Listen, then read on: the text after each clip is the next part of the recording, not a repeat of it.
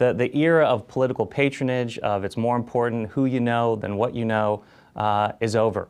He's been on the job for a short time, and Aftab Pureval is getting settled into his office at the Hamilton County Courthouse. He's working to modernize services. We're one of the few counties in the entire state where you can't pay for a speeding ticket online. It's unacceptable. One of the things the new clerk is most proud of is his ability to recruit people from the business sector to come work here at the Hamilton County Courthouse in government service.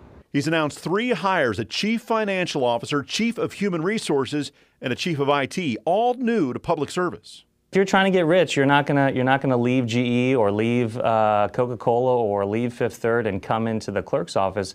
But what we do have is an opportunity to change things for the better for our community. The office employs more than 200 people at facilities all across Hamilton County. And as Pureval tries to make changes, he says he's also trying to avoid losing the deep knowledge that keeps the office operating.